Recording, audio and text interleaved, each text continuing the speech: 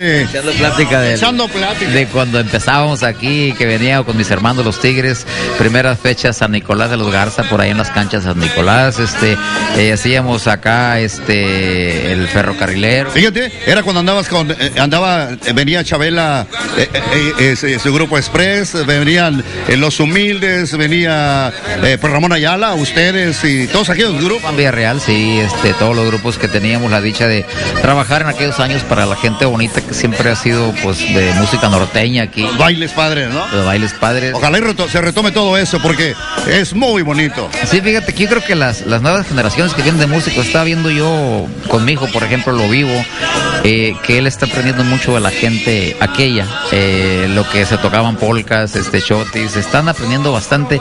Eh, aquí, este, pues, eh, el hijo de Pilo también ya toca muy bien el acordeón, y hay otros chamacos que yo he eh, tratado O sea, las nuevas generaciones. las nuevas generaciones. Entonces, yo siempre he dicho que hay que darle campo a esa juventud que viene y más si están haciendo lo que tú hacías, no en el de- no en el fin de imitarte, sino de seguir viviendo la música, esta música que es muy del norte, que es muy nuestra. Me cuento que es nuestra porque yo he trabajado por la música mortaña por muchos años. Entonces, yo creo que sí está muy bien ahí. Está muy bien. Además, el pensamiento de los Hernández siempre ha sido trabajar con las fuerzas, fuerzas inferiores porque al rato son los que los van a ver. Hay que darles paso ya que... Y dijo Jorge el otro día, oye, hay que hacer programas como antes, en vivo, contigo. Así es, así. Y los vamos a hacer. Claro que sí. Digo, bueno, ya son promesas también de los Hernández. Así. Eh, bueno, vamos a seguir escuchando ahora corridos, canciones. Pero, oye, pero el público quiere saber quién es él. Él es Roque Cervantes. Roque Cervantes, él empezó contigo desde que te separaste de Tigres, ¿no? 96 anda conmigo. Desde el 96, ¿de dónde es él? ¿De dónde es? Él es de Guasave, Sinaloa. De Guasave, Sinaloa. Acá en la batería tenemos a un joven, joven, joven. Póngase de pie para que lo vean allá las fanáticas de, de la música norteña. Está muy alto, así sentado. Llegó hasta las vigas. ¿De dónde es, de, de dónde es el caballero? Él es de Guasave, Sinaloa. De Guasave. Benito. Benito de Guasave, Sinaloa. Y acá en e- de este lado. Eleazar Corrales es de Los Mochis, Sinaloa. Este, y pues Eleazar anduvo conmigo, a él le tocó grabar conmigo, lo de allá no. Este, y es un gran músico, un gran amigo también, grande compañero.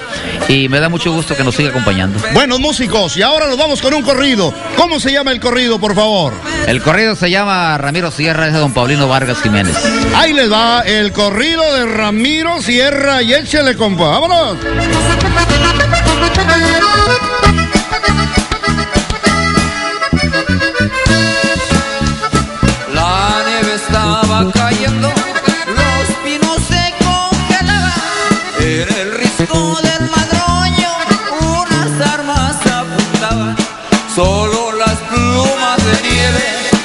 Aquellas miras nublaban.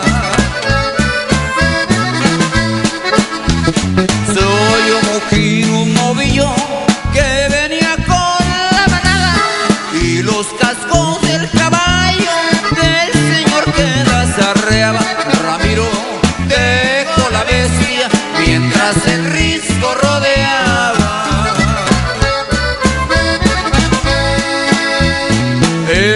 Caballo era un criollito, pero muy bien arrendado.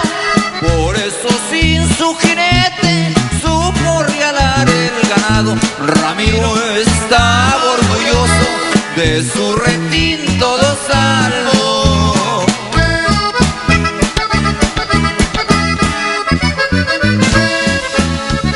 Les dijo Ramiro Sierra, aquí no se engaña nadie. Solo vengo a cobrarles la muerte de mi compadre y a recoger el ganado que le robaron cobarde. Eran 600 novillos, también ganado lechero. Por eso lo codiciaban esos malditos cuatreros. Mas no sabían que les iba a rasgar el cuero. Calibre 223, qué bonito cacareaba. Se confundían los quejidos con el mugir de las vacas y los ecos de la sierra. Esta balada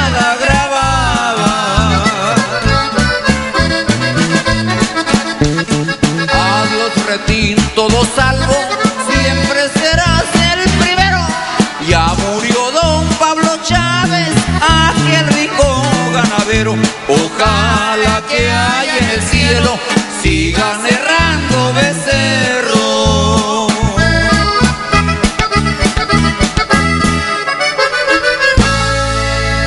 Ramiro Sierra para ustedes. Qué bonito corrido.